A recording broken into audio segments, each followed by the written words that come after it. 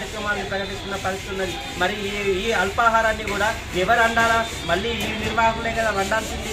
మరి వంట చేయాలని అంటే కూడా ఈరోజు దానికి సరిపడా మెను కానీ సరిపడా బడ్జెట్ కేటాయించే విషయంలో కానీ ప్రభుత్వం ఎటువంటి చర్యలు తీసుకోవడం లేదు. కాబట్టి ఏదో ప్రచార ఆర్భాటం కోసం ప్రయత్నం చేస్తూ ఉన్నది. ఇది సరైనది కాదు. చిత్తశుద్ధిగా నిజ నిరుపేదలకు పిల్లలకి అల్పాహారాన్ని అందించాలి అనుకుంటే వాటికి సంబంధించిన ఏదైతే వస్తువులు ఉన్నాయో వా- వాటి వాటన్నిటిని కూడా ప్రభుత్వమే సరఫరా చేయాలి. గుడ్లను కూడా ప్రభుత్వమే సరఫరా చేయాలి. ఈ కార్మికులందరికీ కూడా పద్దెనిమిది వేల రూపాయల కనీస వేతనాన్ని అమలు చేయాలని చెప్పేసి ఈ సందర్భంగా డిమాండ్ చేస్తున్నాం. లేకపోతే రాబోయే కాలంలో ఈ సమ్మె మరింత ఉధృతం చేస్తామని పస్తుల ఉంటున్నా కానీ ఈరోజు ప్రభు పిల్లలు పస్తులు ఉన్నా కానీ వాళ్ళ తల్లిదండ్రులు కూడా మాకు సహకరిస్తున్న పరిస్థితి ఉన్నది. ఇది ప్రజా ఉద్యమంగా ఉన్నది. కాబట్టి ప్రభుత్వం ఆలోచించాలని చెప్పేసి ఈ సందర్భంగా డిమాండ్ చేస్తాం.